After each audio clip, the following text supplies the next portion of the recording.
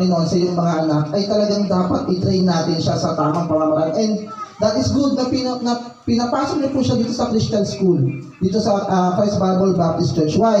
Because the center of the, the, the, the center of the school is the Word of God.